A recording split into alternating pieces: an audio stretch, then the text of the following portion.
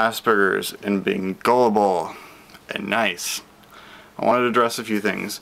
I have known little to none people in my life that have had Asperger's, but I know from my own personal experience and I've read that they can be extremely naive and extremely nice.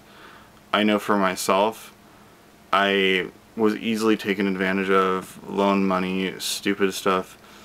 The way I look at it is people were innocent until proven guilty, at least with trusting people. I believed everybody was good until they gave me a reason to think that they weren't good.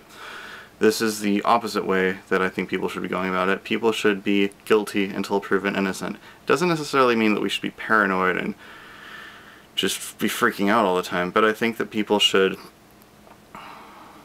just be a tiny bit cautious about what you share around that person. You know, don't get your hopes up too much right away. And you'll see after a while whether that person is decent or not. People tend to have red flags if they're a bad friend. I've noticed that there's people I probably could have gotten them out of my life sooner.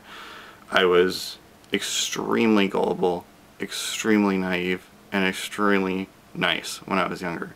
But that expression, nice guys finish last, it's not just that they finish last, it's that they can very easily be taken advantage of, and people might mess with you and tell you these weird stories that don't really make sense just to see the look on your face, and I think I got a lot of people like that too.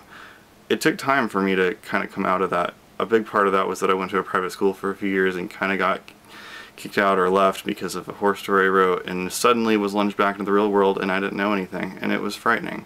And that's what sort of led to my confusion with that coming out story, that other video. But that's why that all happened. But anyway, I'm sort of wondering with other Asperger's people, and I'm finding some of them on YouTube lately, how nice, how gullible they used to be. And I also know that there are situations where Asperger's people, they're nice when they shouldn't be. And I have my own example of that. This is weird, but I was, uh, this was after swim class, uh, I was taking shower, drying off, getting the clothes back on, and this Asian kid comes up to me and says, Hi, I want to be your friend. You have a big one.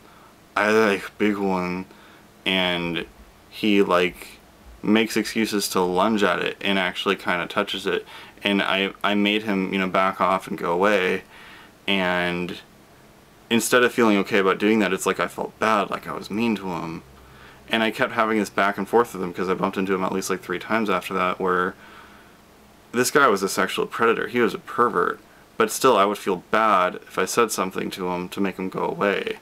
Eventually, luckily, because my friend and myself told cops about it, finally, um, he was actually arrested and expelled.